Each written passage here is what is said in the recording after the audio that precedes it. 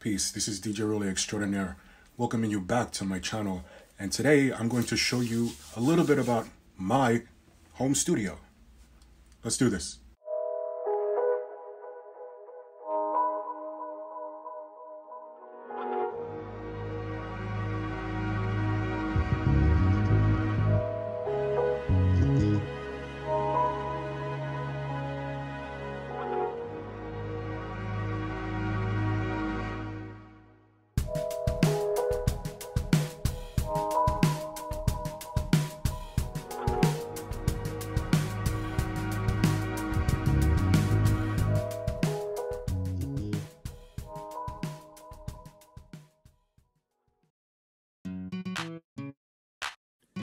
Okay, peeps, so first we're going to start off with the Akai Professional MPK Mini MIDI controller.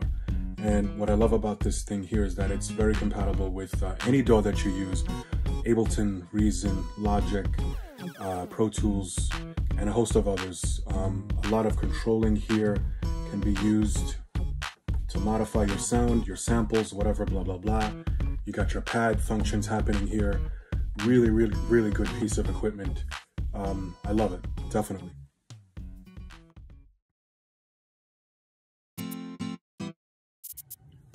Okay, right here we have the MPC Touch made by Akai also. And um, what can I say? A lot of people out there are very familiar with this machine. At first I had a love-hate relationship with it. I didn't know how to use it. There are so many ways this thing can be used. Again, I used to have a love-hate relationship with it. Guess what? definitely, definitely. So good, so good. Very, very good, useful tool for making your own original samples, um, your own music, your own beats. Just It just gives you so much creative freedom. You guys have no idea. Get your hands on it if you can.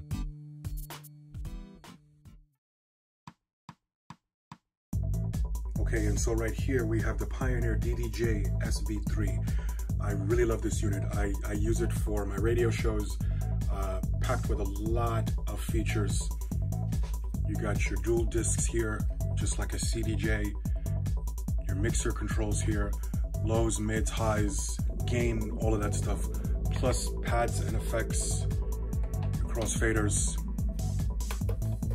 Great functionality with the buttons. Fantastic, fantastic. It's USB powered. I love that. No AC adapter needed. You just plug it in to your laptop and it works. Um, it's also accompanied with Serato software and y'all already know about Serato. If y'all don't know about Serato, you need to get on it. I'm sure there are other uh, DJ softwares that are available that you, you may fancy more, but um, I'm good with Serato. Okay, so right here we have uh, my MacBook Pro and I have my Windows machine as well. I can't stress this enough, guys. Before buying any piece of gear, you must make sure that your operating system, both on your Mac or Windows, whichever one you're using, is compatible with every piece of gear that you buy. Save yourself the headache, otherwise you're gonna have many problems. Uh, drivers, driver issues, it, the, the list is endless. Please make sure your operating system on your Windows computer or your Mac is compatible with any piece of gear that you are using. Again, I can't stress that enough.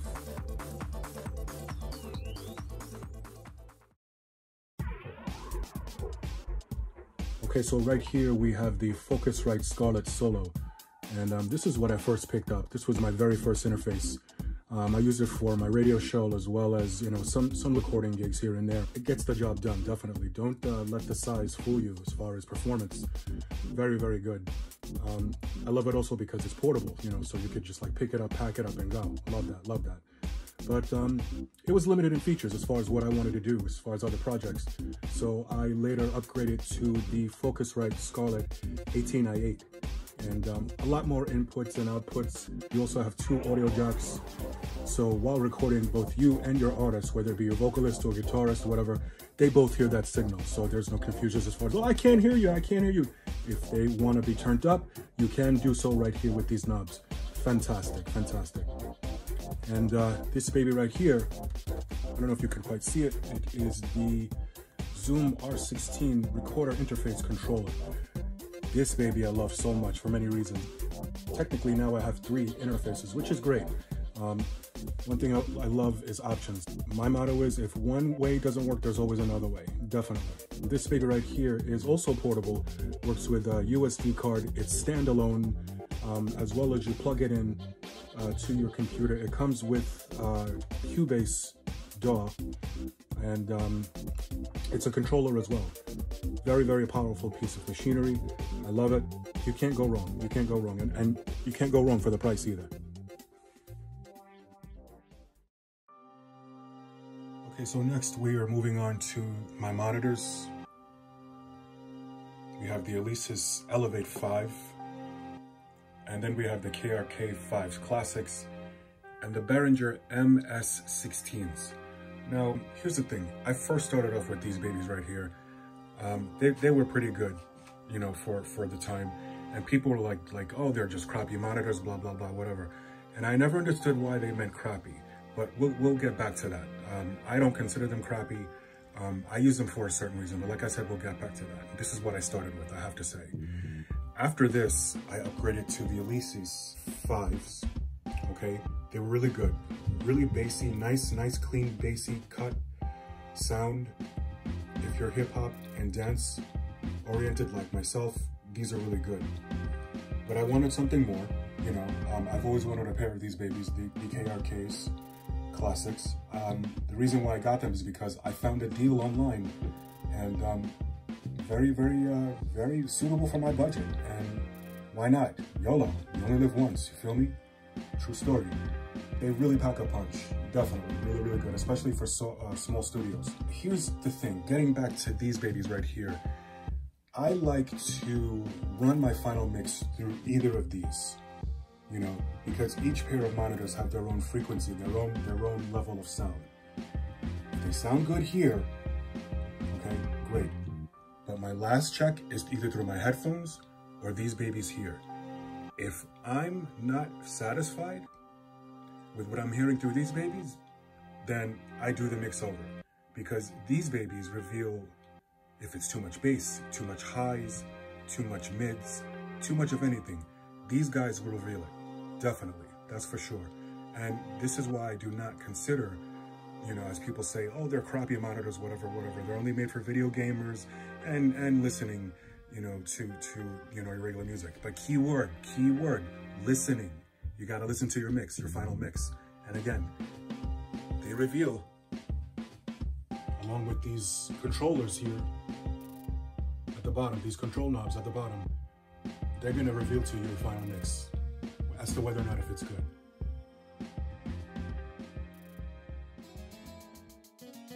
Okay, so right here I have the Falcon UC-01 condenser microphone. Very inexpensive. I paid like 70 bucks for it. Um, I only suggest that you purchase high-end microphones if you can afford it. Me, I cannot. I mean, I can, but I'd just rather not. I feel if you know what you're doing, if you're already a seasoned engineer, sound designer, whatever, you pretty much know, you know, if you have a trained ear as far as what's going to sound good, you know, along with equalization and mastering and stuff like that, you can really get a good mix from uh, such an inexpensive microphone. Again, it's like 70 bucks I paid for. Um, really, really, really good. Um, you get your pop filters as well to um, eliminate the, the hard syllables of, of your of your your lettering as far as the letter P, the letter B, the letter S. You know, you don't want too much of those sounds going into your your uh, your mix. Definitely, from your, whether it be from the vocalist or for yourself. Um, I particularly love this one for my radio show. Um, I can use it for vocals, I'm sure, but I, I just prefer this uh, for my radio show. Definitely. So this mic right here I use for my vocalist specifically. Um, can't show you at this point which mic I do have inside this baby right here, which I highly recommend if you don't have a booth. Um, this baby works wonders as far as um, guarding outside noise uh, to the vocalist, to, to your sound, I should say, while, while you're recording. Really, really good stuff right here.